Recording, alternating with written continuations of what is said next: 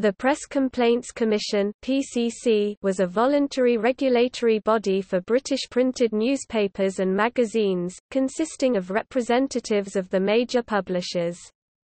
The PCC closed on Monday 8 September 2014, and was replaced by the Independent Press Standards Organisation IPSO, chaired by Sir Alan Moses.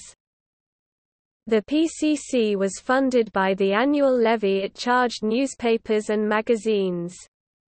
It had no legal powers, all newspapers and magazines voluntarily contributed to the costs of, and adhered to the rulings of, the Commission, making the industry self-regulating. The PCC received extensive criticism for its lack of action in the news of the World phone hacking affair, including from MPs and Prime Minister David Cameron, who called for it to be replaced with a new system in July 2011. The Leveson inquiry was set up and reported in November 2012 but there since has been deadlock over its proposals for self-regulation despite the establishment of a royal charter on self-regulation of the press. Lord Hunt was appointed chairman of the commission in October 2011.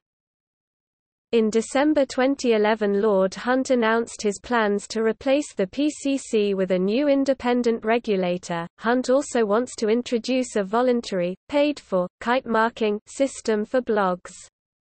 The kite mark would indicate that the blogger has agreed to strive for accuracy, and to be regulated. Bloggers would lose their kite mark if complaints against them were repeatedly upheld. He plans to start the rollout by targeting bloggers that cover current affairs. When asked about his proposals in an interview Hunt said At the moment, it is like the Wild West out there. We need to appoint a sheriff.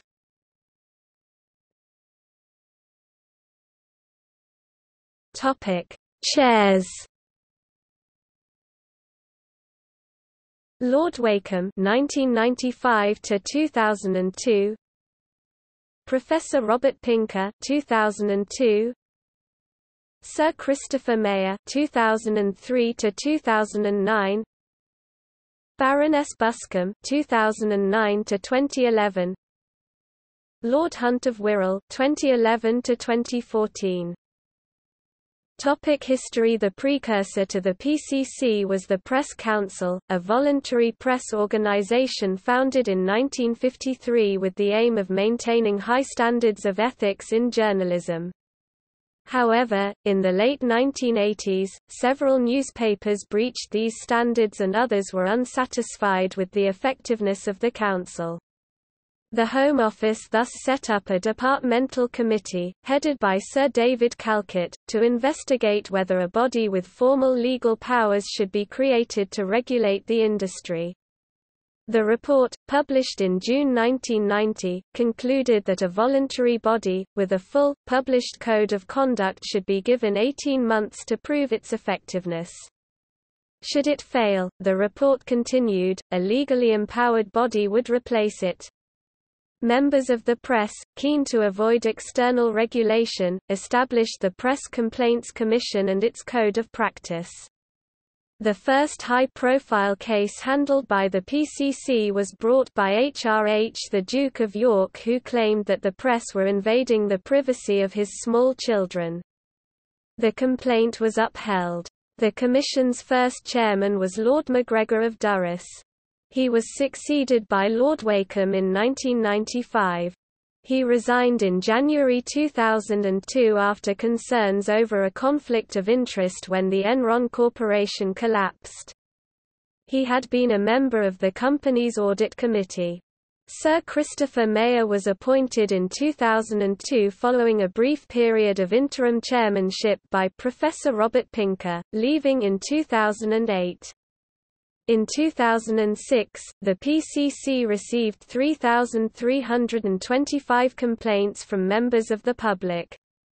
Around two-thirds of these were related to alleged factual inaccuracies, one in five related to alleged invasions of privacy and the rest included the lack of right to reply, harassment and obtaining information using covert devices.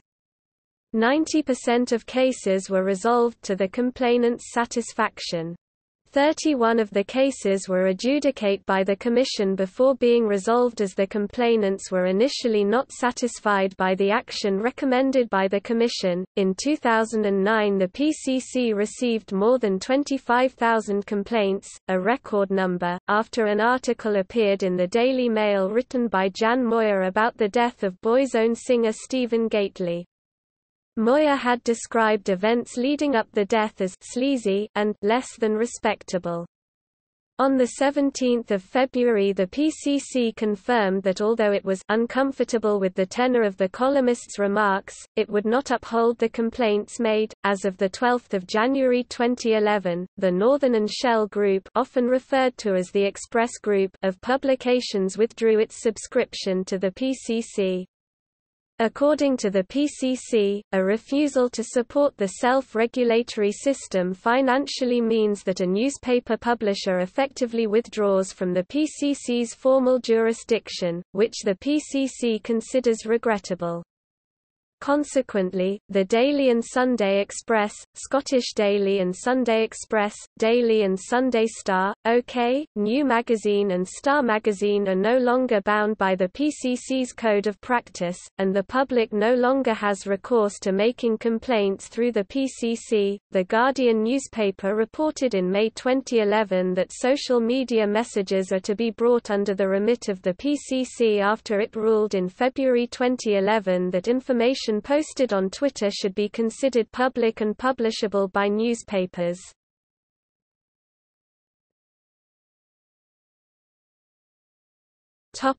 The Code of Practice Any member of the public, whether a relative unknown or a high-profile figure, is able to bring a complaint against a publication that had volunteered to meet the standards of the code. Members of the Commission adjudicate whether the code has indeed been broken, and, if so, suggest appropriate measures of correction. These have included the printing of a factual correction, an apology or letters from the original complainant. The Commission does not impose financial penalties on newspapers found to have broken the code. Many publishers have added clauses to the contracts of editors of newspapers and magazines giving them the option to dismiss editors who are judged to have breached the PCC Code of Practice. The PCC and its adherents claim that by attaching personal significance to the role of the PCC in the editor's mind, its role has become more effective. The section titles of the Code of Practice on which judgments are made are as follows. It is worth noting that reporting restrictions imposed by judges take precedence over the PCC's code. For example, under the Sexual Offences Act 1992, victims even alleged victims of sexual offences have lifetime anonymity. This means that a newspaper cannot print any particulars leading to the identification of a sexual offense victim.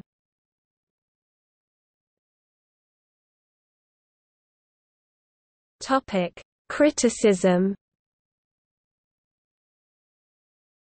In 2001, Labour MP Clive Soley said that other regulatory bodies are far stronger, far more proactive and really do represent the consumer. There are no consumer rights people on the PCC and that is a major failing. Journalist Nick Davies criticized the PCC for failing to investigate the vast majority of complaints on technical grounds in his book Flat Earth News 2008, an exposé of modern British newspaper journalism. The MediaWise Trust, a charitable organization set up to help people in their dealings with the press says that the self-regulation system has proved to help the rich but not the poor.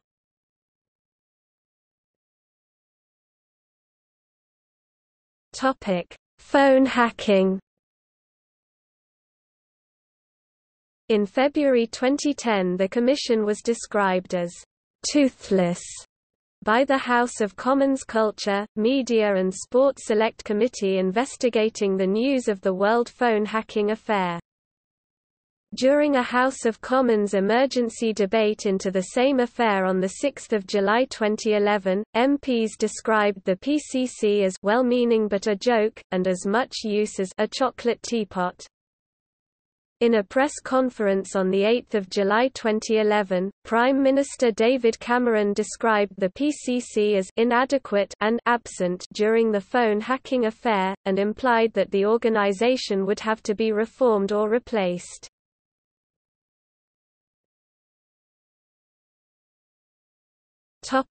Self-regulation The 2009 British investigative documentary Starsuckers exposed the request to obtain medical records of celebrities by many of the red-top UK tabloids, and the lack of PCC action against the papers that had broken the PCC charter. The tabloids ran the bogus stories about the likes of Amy Winehouse, Pixie Geldof and Guy Ritchie. Secretly interviewed reporters claimed that the PCC is run by the newspaper editors. Getting a PCC isn't great, but, a lot of papers just brush it aside, all it is, is a little apology somewhere in the paper, you get a slap on the wrist, you get reported by the PCC, but there's no money. The PCC took no action against the papers that ran these stories but did respond with a letter to the editor of the Belfast Telegraph. The response of Chris Atkins, the documentary's director, was that the PCC had yet still not acted on the issue of several newspapers breaking their Code of Conduct 8.2.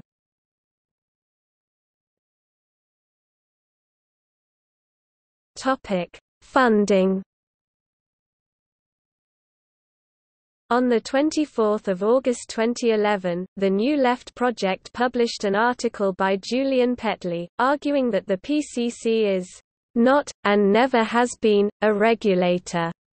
He presents the case that the PCC is the equivalent of the Customer Services Department of any large corporate organization, responding to customer complaints for most of the British press.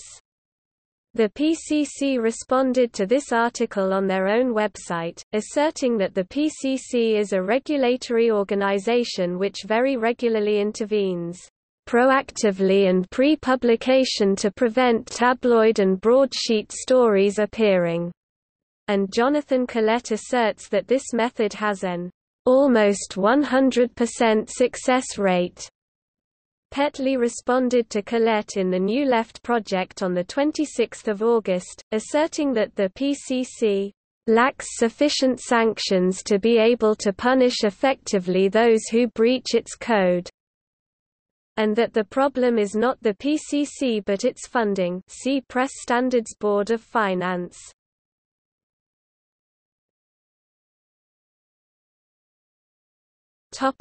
See also